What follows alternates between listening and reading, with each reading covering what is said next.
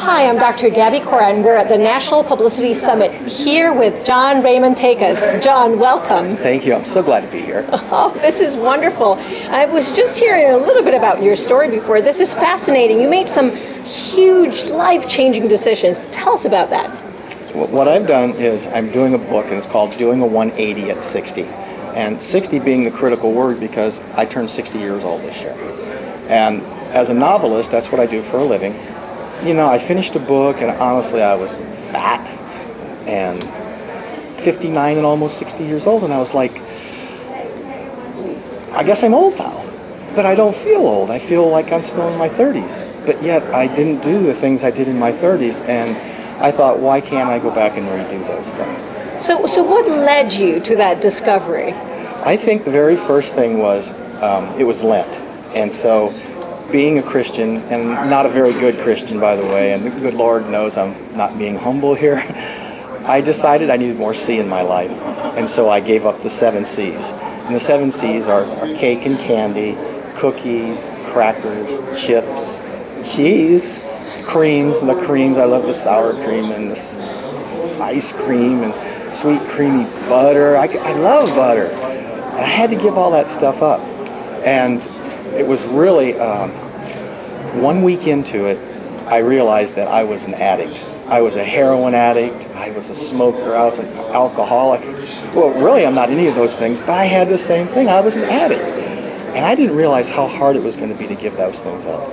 I mean, if I did, then I don't know if I would have even done it. But because I was doing it for the Lord, so to speak, I said a prayer and it was answered. And uh, it, it made me really appreciate anybody that's ever gone through those really hard addictions and, and broke those up. So you were uh, able to shed some of these things and, and leave them behind, and at the same time walk some new paths again.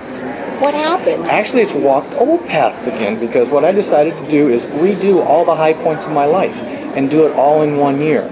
I started with this premise that, I mean, you've heard so many times before, it says if you don't do it when you're young, you'll never be able to do it when you're old.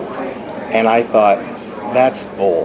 Why can't I redo it? And so I started, and I started scuba diving. And the next thing I did was I did a 200 mile bicycle ride. One day, it's called a double century. I left at 5 o'clock in the morning, 5 minutes after 5. I finished at 11 o'clock at night. And I rode 203 miles. Perspective would be like from New York to Washington, D.C. in 18 hours.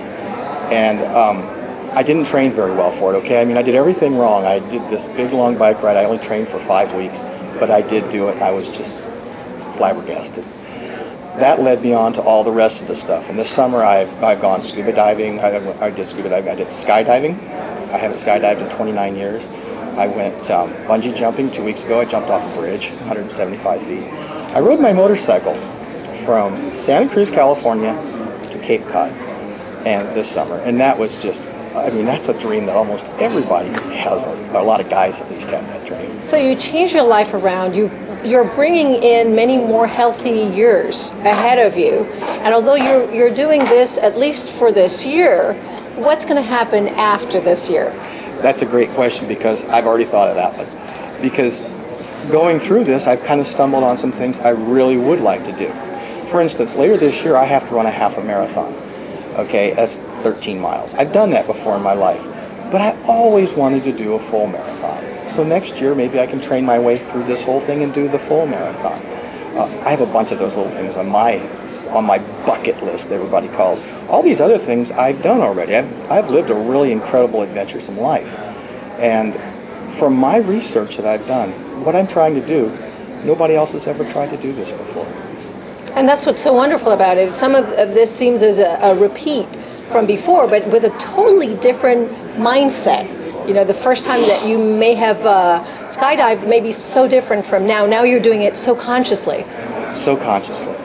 Just like, believe it or not, one of the things is playing golf. Well, I live across the street from the golf course, but I've always wanted to play 100 rounds of golf in a year because I always said if I did, I'd be a really good golfer.